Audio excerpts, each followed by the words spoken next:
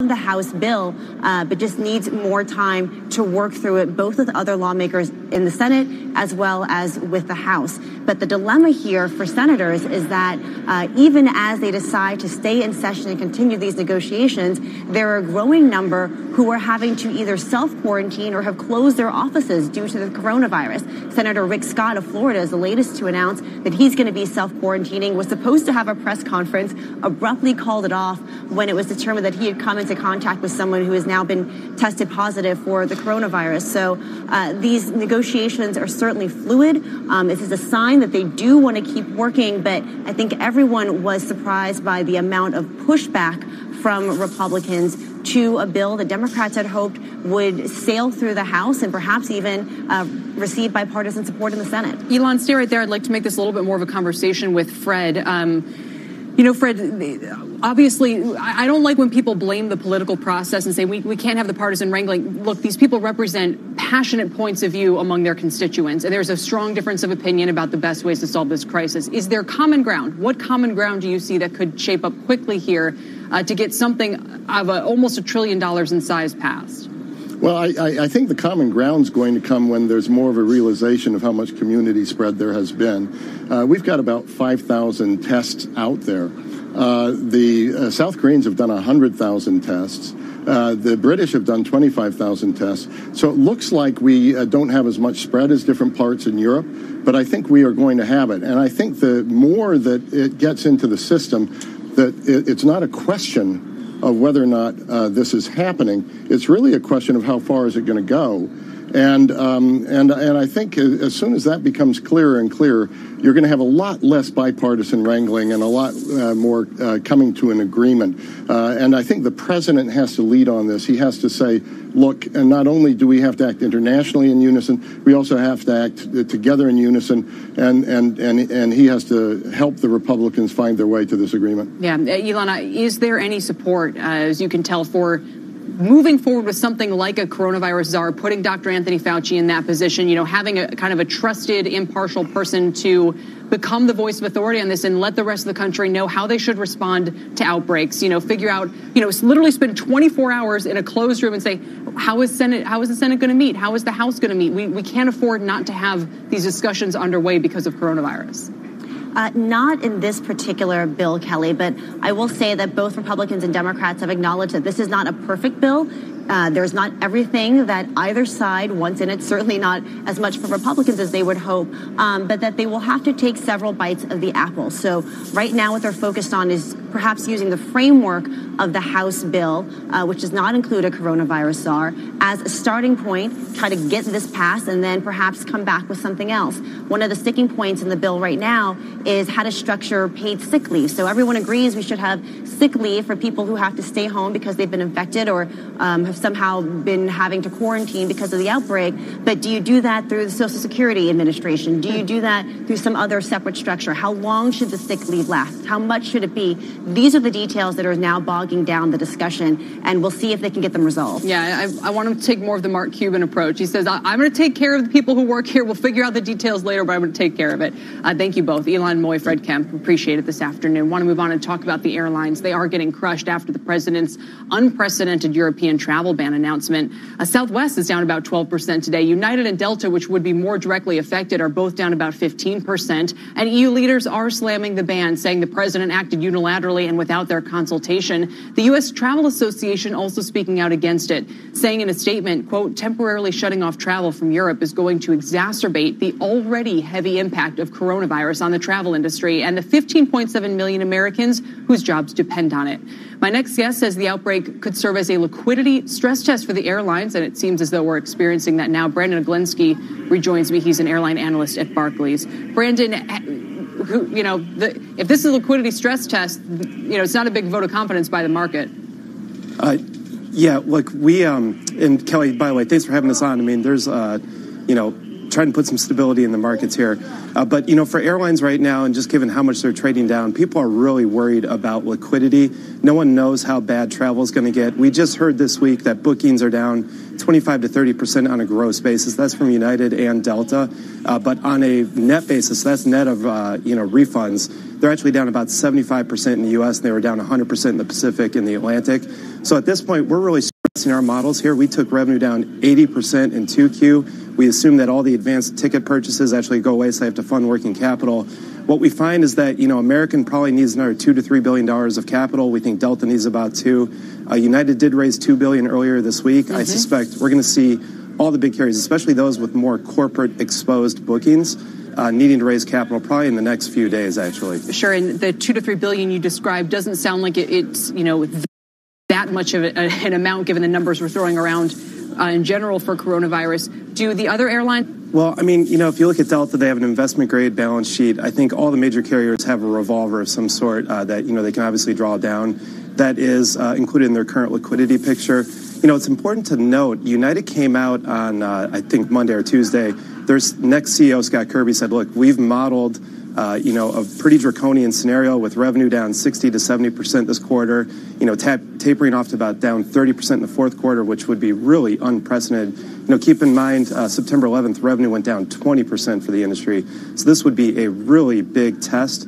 Uh, but they said even in that scenario with the capital they've raised, they believe they can be cash positive by three billion throughout the whole course of that type of contraction. So I think it's really prudent for the boards and the management teams right now to be looking at cash. What sources of capital do we have? And unfortunately, you know, for American, they've obviously pursued a more aggressive strategy in the last few years, repurchasing a lot more stock, taking on a lot more debt. Yep. Um, so that's where I think we see the most concerns. But, you know, then again, look, Barclays and Citigroup have a big credit card relationship with them. It wouldn't shock me if we saw a few billion dollars of forward miles purchased from these banks. You know, they also have term facilities that we think they could actually stretch out. So there's lots of options on the table here. CapEx is going to get pushed out you know, everyone's going to feel this throughout, uh, you know, the aerospace system too. So deliveries won't happen. But I don't think any of these companies are actually going to go bankrupt uh, through this crisis. Well, the fact that you have to say that tells us just how bad it is out there. But Brandon, we appreciate it. Like you said, liquidity stress test for all these companies. And American, maybe the poster child for uh, investors being upset about those debt-funded buybacks. We'll leave yep. it there, Brandon. We'll check back in with you soon. Brandon Oglenski of Barclays. And from the air to the sea now, this pandemic has been devastating the cruise industry too. Princess and Viking Cruises today suspending global ship operations. For more, let's get to Seema Modi. Seema. Kelly, that's right. Carnival announcing it's halting operations of the Princess Cruise Line, 18 ships in total for about two months. This will impact sailing scheduled from March 12th to May 10th, and it follows two high-profile quarantines: the Diamond Princess off the coast of Japan and the Grand Princess off the coast of California over growing coronavirus concerns. The Princess line accounts for roughly 20% of Carnival's EBITDA, uh, according to analysts at Instinet. The stock Carnival down about 17% today. Experts say they wouldn't be surprised to see other cruise lines follow Princess's decision. In fact, Viking, an operator of luxury river cruises, backed by private equity firm TPG and the Canadian Pension Fund, suspending all sailings till May 1st. This is, of course, a private company, but you're starting to see the fallout spread as well, Kelly. It's not just the cruise lines. You take a look at the hotel operators, uh, the online travel names like Booking Holdings and Expedia, all seeing significant losses in today's trade. I don't know if we can show the year-to-date declines for these cruise uh, operate, operators, Seema, but Norwegian's now trading at $11 a share. Yeah, that stock is uh, been hit really hard, not just today, but Norwegian suffering the most. If you look at the year-to-date performance of Royal Caribbean, Carnival, and Norwegian, the three publicly listed cruise operators. Norwegian's uh, down 80%. Yeah. Year-to-date, exactly. And following that, you'll see Royal down, I think, about 70%. Carnival actually, interestingly enough, despite the high profile uh, and negative attention that it's received with the Princess line, it's uh, faring better on a year-to-date basis. All right. Seema, thank you. We appreciate yeah. it. Seema Modi. It's been a wild session here on Wall Street. The S&P circuit breaker kicked in for the second time this week that halted trading for 15 minutes. That was shortly after the open this morning. The Dow was down 2,200 points at the lows. It went up uh, to a decline of about 750 after the Federal Reserve came in just before the turn of the hour with an emergency liquidity announcement. Uh, but we've slid back down now. The Dow's down 1,800 points. It's a 7.6% drop. The Russell 2000 small caps are down more than 9% today. The 10 year yield, which again, as of yesterday, was kind of uncoupling with these markets and had moved higher, is uh, standing about 71 basis points right now in the wake of all of this. So it's kind of chopping around. Crude oil has been crushing, uh, crushed again, I should say. Uh, big declines across Brent and WTI. Uh, there's WTI down 6%. It's just under $31 a barrel. The industrial ETF is on pace for its worst week since uh, September of 2001, with more than 11 members down 10% or more today. That includes United Airlines, Boeing, General Electric, UTX, Delta, and American Airlines. Fast moving news here. United's down 18%. Let's get to Sue Herrera for a news update at this moment. Sue? And there's a lot going on at this point, Kelly. Just moments ago, the announcement came that Sunday's Democratic presidential debate is being moved from Phoenix to Washington, D.C. The organizers are making the chance to reduce the coronavirus risk because Univision's moderator, Jorge Ramos, is pulling out of that debate because he was recently in contact with someone who tested positive for the coronavirus. Canadian Prime Minister Justin Trudeau is self isolating after his wife Sophie began showing flu like symptoms following a trip to Britain. The couple are staying at home pending the results of her test for the coronavirus. National Guard troops a short while ago began handing out supplies in New Rochelle, New York. There's currently a one mile containment zone in an effort to curb the coronavirus outbreak. New York's governor calls the area the most significant cluster in the country. The containment zone is set to continue through March 25th. And Major League Soccer has suspended all games for the next 30 days because of the coronavirus. The uh, league says it will continue to monitor events as it works on plans to try and resume the season just one of the latest sports teams and leagues to announce that they are either canceling or suspending because of the virus. Kelly, back to you. Yeah, their headlines are coming in fast and furious. Sue, thank you. And the Fast and Furious movie's now been suspended a year. Anyway, as Sue mentioned, the world of sports is coming to grips with a new reality during this pandemic. Let's bring in Eric Chemi with all the cancellations and suspensions up to this point. Eric, the, just the last few minutes, we're hearing from the Major League Baseball and National Hockey League. Yeah, that's right. So the NBA, they took the lead last night. That was followed by a host of other sports entities today. Major League Soccer, ATP Tennis, college sports, and so on. They've all announced cancellations or postponements to their seasons. We've been getting a new one basically every few minutes in this past hour. These sports industries, they're massive businesses. Consider just the NBA. It brings $9 billion in league wide revenues every year. $4 billion gets paid to the players. $3 billion comes just from its national TV rights deal with ESPN and Turner. You add in the PGA, which will have tournaments still, but without fans. Major League Soccer, they're now suspended. ATP Tennis Tour, that's suspended. That's billions of dollars more. And then just in the last few minutes, we're hearing that the Major League Baseball, that spring training is now being suspended, and National Hockey League, they are suspended. Those, those two alone, that's combined $16 billion a year and all the major conference basketball tournaments they were canceled today one game was canceled at halftime oh, Jeez. just about a few minutes ago but the one big thing we're waiting for that ncaa march madness tournament they have still not cancel that tournament they make a billion dollars a year just from those three weekends. Yeah, so now we'll have ripple on. effects back to the schools. Eric, hold that thought and stick around because the growing list of leagues suspending games or banning fans is likely to have a huge financial impact. And our next guest says there's not even a way to quantify it right now. There's no precedent. There's no playbook for this situation. George Pyne is here. He's the founder and CEO of Bruin Sports Capital. It's great to have you, George. I mean, uh, what is business like on a day like this? It's tough right now, and it's unknown. I think in the long run, it will sort itself out over a long period of time, but in the short run, it's going to be very choppy. And the places to look first, as, as Eric mentioned, the NCAA, the NBA playoffs, the NHL playoffs, the, uh, sports that are in the playoff run, that's where the money's made. That's the most profitable time of the year. So those sports are in the toughest position. Things like Major League uh, Baseball, they can delay the season. They can add double headers. They can extend the season. But those sports that are in the playoff run, it's going to be difficult. Lastly, the local uh, people in the communities. Sure.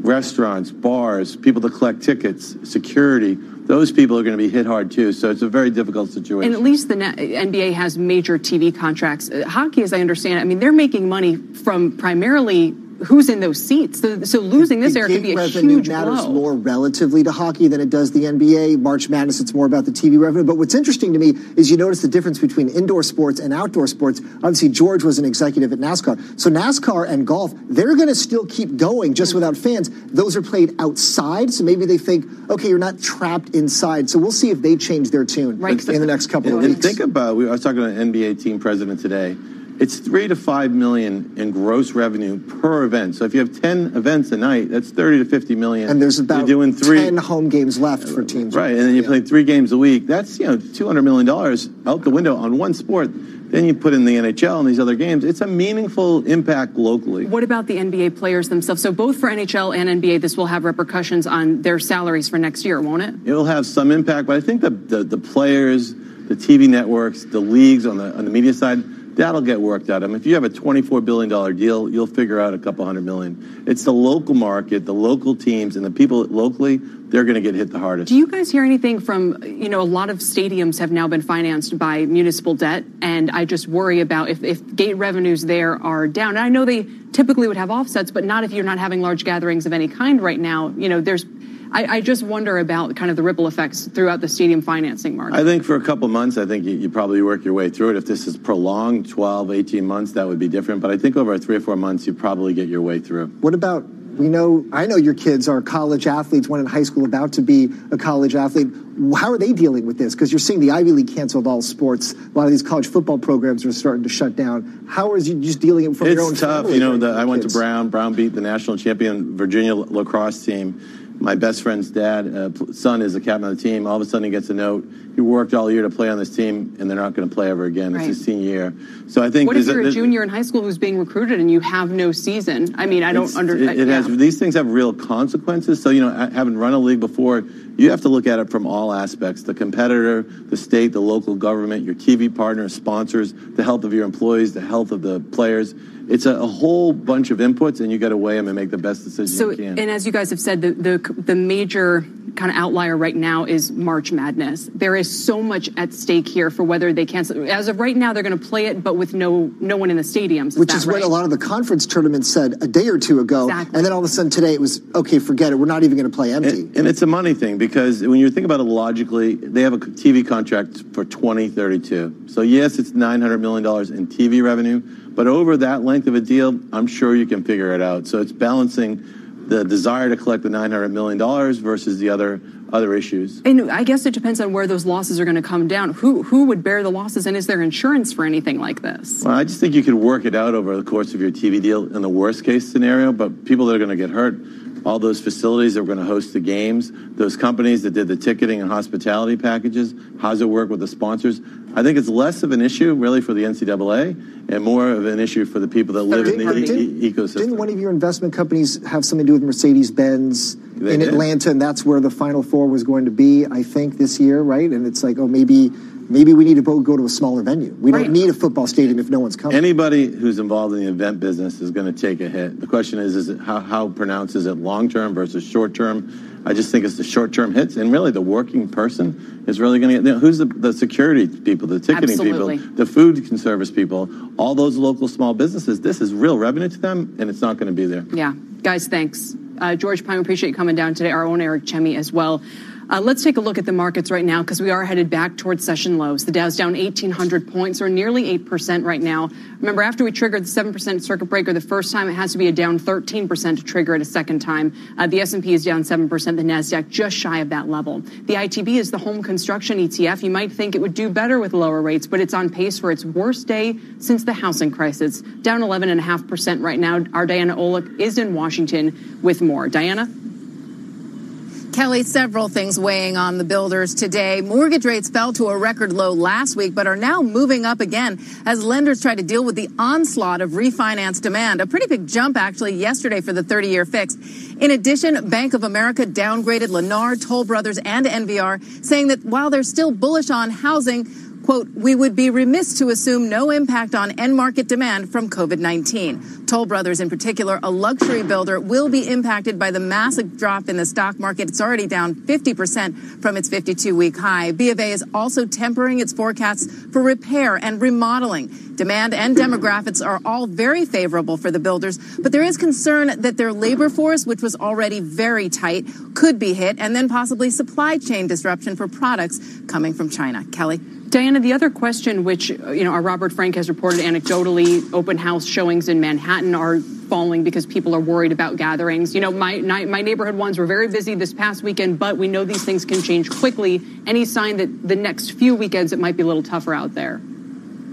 Yeah, we've been calling around to realtors all over the country. And as you know, all real estate is local. So while one agent in Texas said everything is great, an agent in LA said the same thing, obviously in Seattle, you are not seeing that. Actually, in this area, you're seeing open houses being canceled. Also, Redfin recently said that they would be willing to do Skype tours of the house. That is the agent in the house and the person on the Skype. So the agent could walk around and answer questions without the potential buyer actually being there. So it's going to be changing very quickly. And it will, of course, depend on where you are. All right, Diana, thank you. Diana Olick. Let's turn to the restaurant stocks today. Darden and Brinker International are down double digits over the past month, along with the sector. Today we had Starbucks announcing it's considering several safety measures, including social distancing, by limiting seating at its stores. Let's bring in Jim uh, Ballas now. He's managing director of strategic operations group at Capital Spring. That's a private investment firm focused on the restaurant industry. Uh, Jim, it's good to see you. So, uh, restaurants, the trouble is, you know, if you don't take your trip to some country this year, you might take it next year. The restaurant loss visits that are lost because of coronavirus, they're probably not going to get back, right? Yeah, that's true. I mean, it's definitely going to be challenging for them. What you're seeing here is a clear migration from people dining in the restaurants to people using it very differently to off premise. So you're seeing uh, people using drive throughs, delivery is obviously picking up. So those businesses that have those available to them as revenue channels are performing a little bit better currently than those that have dine-in. Sure, and that reminds me of our last conversation about the ripple effects of these sports cancellations on a lot of the people who might have worked as security or in uh, um, concessions and so forth. You know, if people are ordering and off-prem, they're picking that food up, they're doing delivery, that's fine. But the wait staff, I mean, what happens to the wait staff if nobody's dining in, in these places? Yeah, I mean, it's it's very difficult for them, and obviously a lot of them, uh, you know, work paycheck paycheck, and so they're much more challenged when the business suffers. The other problem that you have to remember is, you know, the restaurant business is one of the, I think it's the second or third largest employer in the country. And so any impact to the restaurant business and the employment of the restaurant business, you know, has ripple effects throughout the economy. Tell us how your business works. You finance some of the franchisors, is that right? Or with a lot of uh, different names that we know very well, Wendy's, Panera, and so forth. Sure. Yeah, we're uh, we're a little bit unique. So we we both provide equity and debt to restaurant companies. And in some situations, those are independent concepts. Um, and in other situations, those are franchisees of businesses and and some franchisors as well.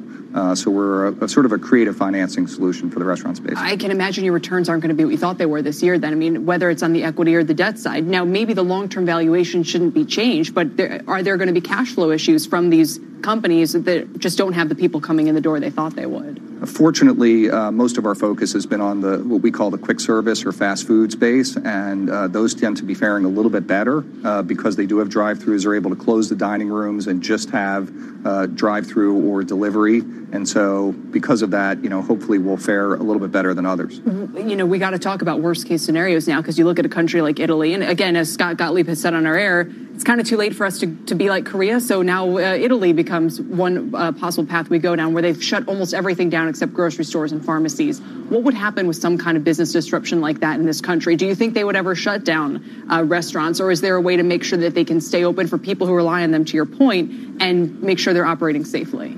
You know, I would hope so. I mean, obviously, these are uncharted waters. Uh, we're in the early innings here. We don't know what's going to happen. Should we have a situation like Italy, we're going to have to deal with that when it actually occurs. But, you know, we don't believe they're going to shut down the restaurant business at this point. You know, in some ways, restaurant food is a little bit safer than what you make at home because we take so many precautions around safety and sanitation, whether it's cooked temperatures, you know, just what the, the, very specific policies that we have for our workers. And what for the business model? So now, if I'm going to go and do pickup instead of uh, dine in, if I'm going to try for delivery, what are some of the lasting changes you might anticipate here? Does it create different winners and losers? Do you think some of these behaviors might be sticky, so to speak?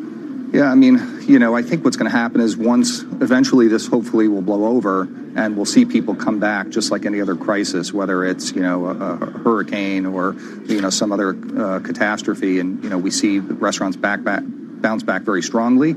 Um, I think you're going to see, you know, you mentioned a couple of names earlier around Brinker and Darden. Those tend to be casual dining, you know, with, with servers and, you know, uh, restaurants with waiters and waitresses, those are going to suffer a little bit more unless they can migrate and do more off premise. Absolutely. Um, That's what I was wondering is if, if you're them, do you try, because that food often doesn't deliver well. Yeah, you're right. Are there menu changes they could make to kind of enhance and say, look, you know, you know our menu, you love it. We're going to offer such and such tweaks right now. So if you just want to come in, pick that up, we're going to make sure that it's hot. We're going to make sure that it's, you know, it travels well, so to speak.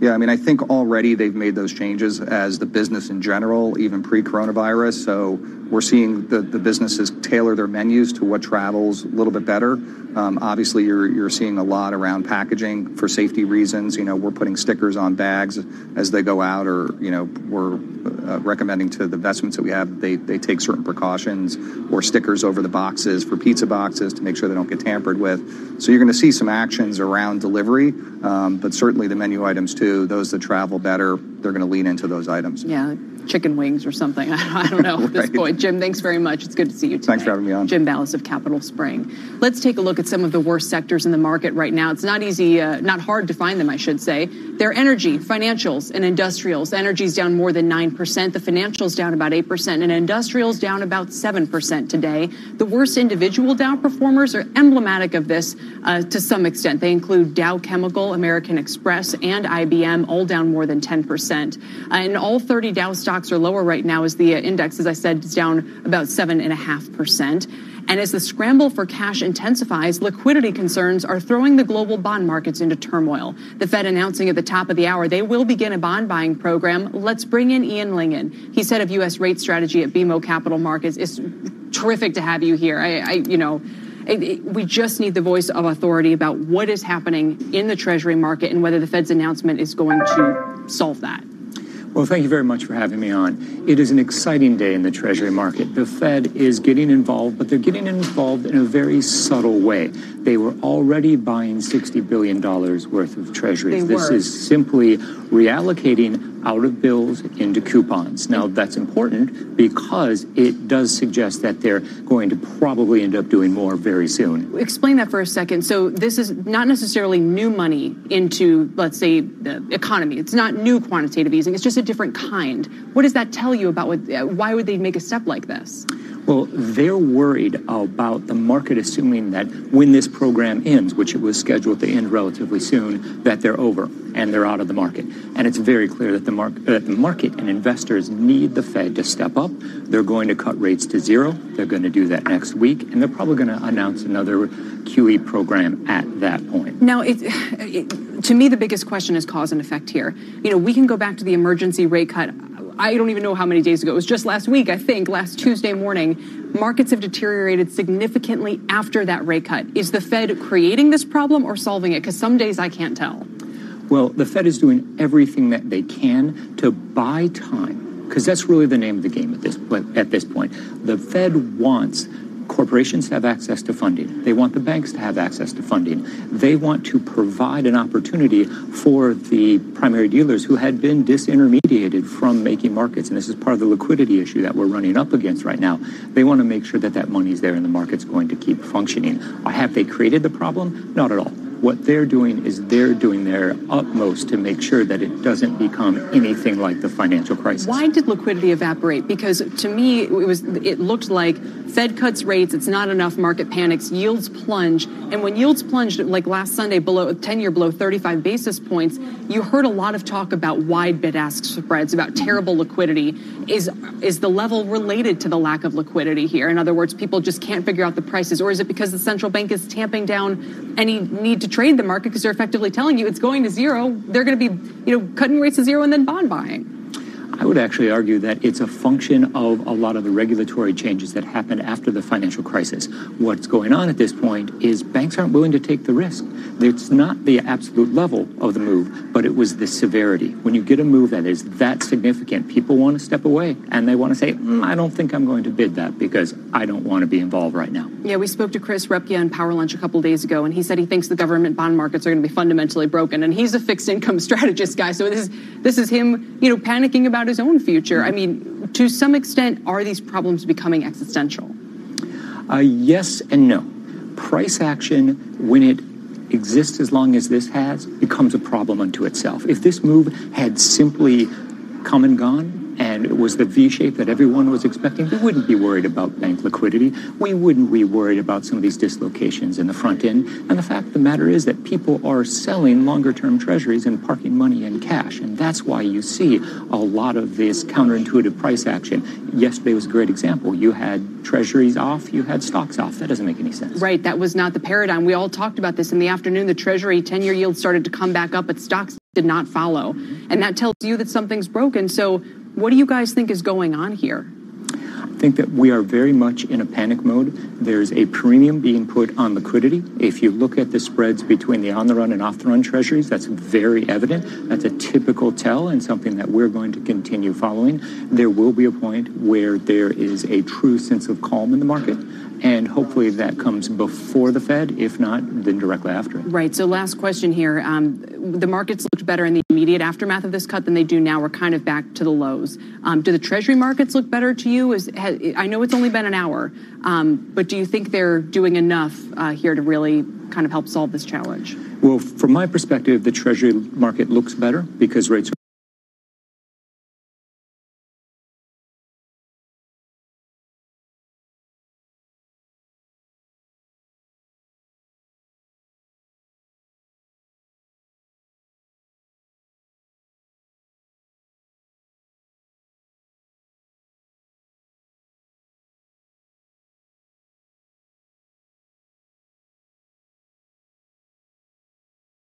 and I'm expecting negative rates in the front end of the market. I think that will be a reality for the Treasury market a lot sooner than the uh, forwards are pricing in. All right. So, to you, negative rates.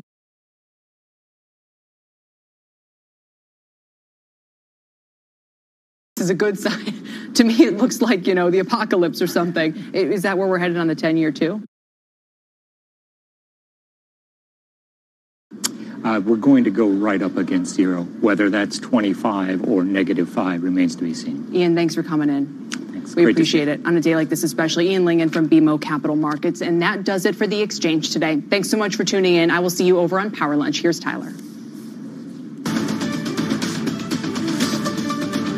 And Kelly, thank you very much. Welcome, everybody. I'm Tyler Mathisen. We start today on Power Lunch with, of course, the massive market sell off. The Dow Industrials off right now about 1,600 points, swinging wildly after the Federal Reserve stepped in to inject one and a half trillion. Yes, you heard me right. One and a half trillion into the system. But virus fears around the globe are outweighing that relief for now. It is a yo yo kind of day. Stay tuned. And just to put this all into context, the Dow is down about 16% or thereabouts this week. Let that sink in for just a moment. 16% just this week. And we're not even done. President Trump announcing a travel ban on all non U.S. citizens coming in from Europe, but we're still awaiting details on a stimulus plan or a domestic response to ensure containment, mitigation, and increased testing capabilities right here in the U.S. And we're talking to two, no, three CEOs today Group One Auto, Redfin, also Verizon CEO, about how these companies are dealing with the fallout and what the impact of this virus will be on the overall economy. Kelly? All right, Tyler, thanks. Let's get right to our reporters covering this story for us. Bob Pisani is watching another huge drop for stocks today. Rick Santelli is monitoring the action in the bond market after the Fed's big move. Eamon Javers is looking at the government response, and Meg Terrell bringing us the very latest on the coronavirus outbreak. Steve, uh, we start. I should say we begin with Steve Liesman, who's on the phone with the latest on this move by the Fed. It's been about an hour, Steve, for markets to digest it.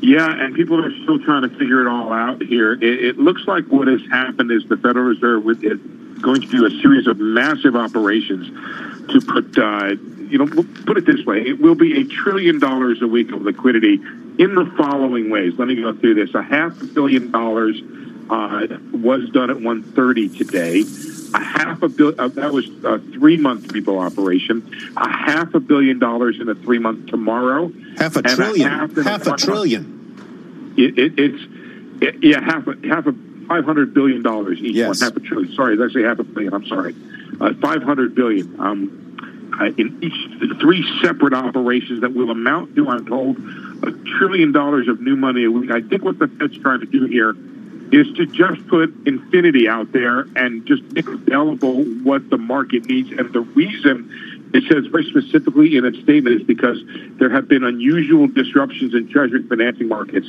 Uh, spreads have blown out in ways, guys, that we haven't seen since 2008. In certain derivative markets, certain securities, they're actually wider than they were in 08, suggesting more concern out there. And the Federal Reserve hopes by doing these operations, it will provide as much money as is required for the smooth functioning of the markets. Will, whether that'll be enough, I, I don't know. I've heard people complain that the real problem is the lack of balance sheet out there. You saw that the uh, European Central Bank did something different today where it reduced the reserve requirements in certain areas. The Fed is not doing that yet. They may yet think about that. And just one other thing on this. This was done as part of a, a certain power that the Fed chairman has to, to take an operation like this. They say it's done in consultation with the FOMC, but not a decision made by the committee. Uh, apparently, there have been a series of, of calls between uh, John Williams, the head of the New York Fed, um, uh, and, and the Fed chairman, and all kinds of staff, and, and the uh, New York desk, which does these sorts of things. Uh, they have been on the phone continuously for several days, I'm told. Um, and this is the result of that, those calls in an action taken by the chair uh, with instructions to the New York desk. So a very unusual operation and certainly a massive amount of it. Steve, can I ask you a question here? Because, and I think you answered it, but we have the the uh, operations of the Fed taking place today, and then in two more tranches tomorrow, and then in the statement it says three month and one month repo operations for five hundred billion dollars will be offered on a weekly basis for the remainder of the monthly schedule. Does that mean that the Fed is going to be in the market buying at a rate of a trillion dollars a week for as far as the eye can see? What does it mean? Yeah. Yeah, it, it, I think you have it right there, Tyler. And, and I was on the phone with somebody in the bond market, and we were trying to total all this up, and we came up with a number of two and a half trillion, um, which I was afraid to say until you started doing that math right there. But you, you could do the math in a lot of different ways, but it is just an enormous amount of money. It is basically saying that if you need to do this operation of, of, of uh, repoing securities, that there will be enough out there for you on offer from the Federal Reserve. Um, I don't know the extent gets at the problem because we've had, you know, guys use words like, I mean, the, the, the guest that Kelly just had on was extraordinary. We talked about panic in the bond market and, and some of the things that I'm hearing, which is the differentials between the futures market and the cash market are as wide as ever with potential impacts on the corporate bond market. So we're going to have to wait and see. But I don't think the Fed intends this to solve the problems of the economy. It's not intended to solve the problems of the virus or anything like that. It's intended to solve a specific issue such that wherever the bond market needs to go, they can get there with sufficient liquidity. Uh, and that was a problem. So it doesn't solve any of the overlying problems. Just mm-hmm. this one idea. Mm-hmm. Uh, the problem in the, in the bond market and liquidity and the and the mismatch of bid and ask that you pointed to right. earlier this week. Steve, we're going to leave it there, uh, and we'll, I'm sure, be talking to you uh, throughout the rest of the day. Let's get to Bob Pisani now at the New York Stock Exchange on this wild day, uh, where prices have certainly been yo-yoing, and that's a polite way of putting it. Uh, you know, Tyler, 23 years down here as the stocks correspondent, and I don't think I've ever seen the S&P move 6% in less than 15 minutes. I want to emphasize less than 15 minutes. Here's the Fed announcement right there, around 12:51 or so Eastern time. There we move up, so it's 23.50, uh, no, 25.06 to about 26.60. We're talking about 160 points. That's about a 6% jump. You're not going to see that.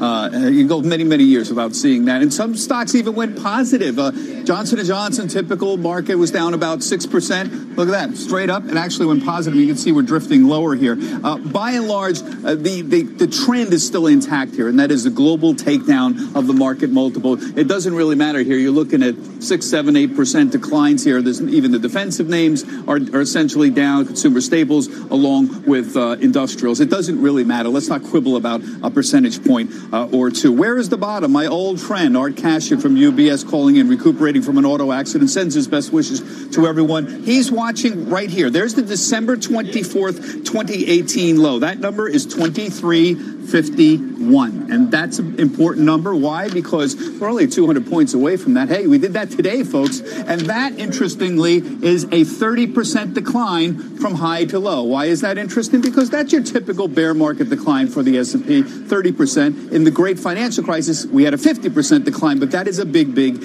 outlier. So look at that 2351. By the way, a lot of people say, well, we weren't impressed with President Trump's speech last night. We weren't impressed with the Congress today, uh, not getting its act together. They weren't impressed with Christine Lagarde either. There you see the Stoxx 600 closing at the lows for the day. Despite what they said, bond buying, market wanted a lot more, even from Europe. Guys, back.